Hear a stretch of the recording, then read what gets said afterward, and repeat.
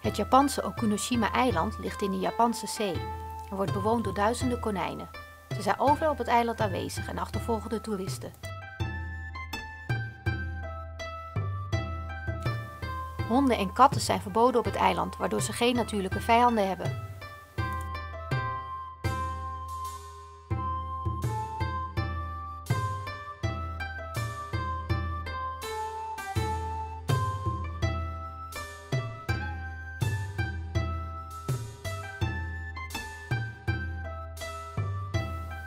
Het eiland ligt vlakbij het vasteland en is met zijn mooie stranden, golfvelden en kapierplaatsen een geliefde toeristische attractie geworden.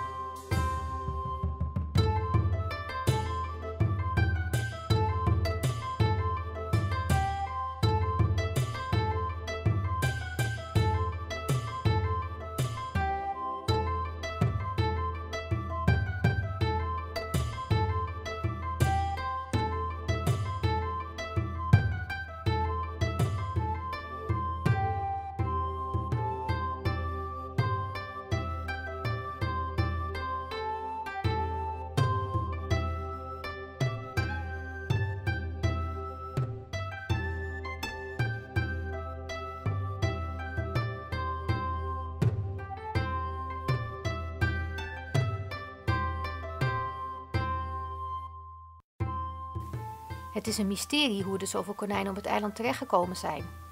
Dat er vroeger tot de Tweede Wereldoorlog chemische wapens op het eiland werden geproduceerd, kan ermee te maken hebben. De konijnen werden naar het eiland gehaald om verschillende giftige gassen te testen. Velen zeggen echter dat dit niet de oorzaak kan zijn van het grote aantal konijnen, omdat deze uiteindelijk gedood werden.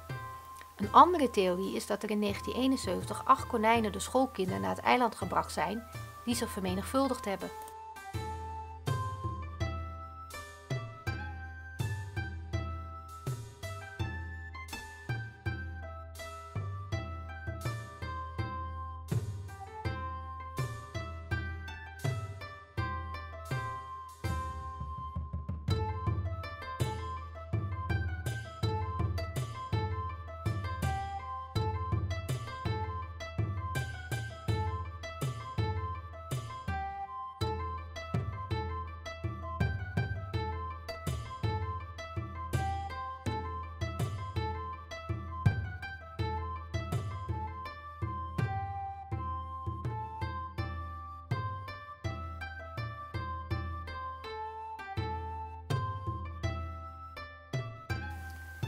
Bezoekers van Okunoshima-eiland kunnen konijnenvoer kopen om de konijnen te voeren.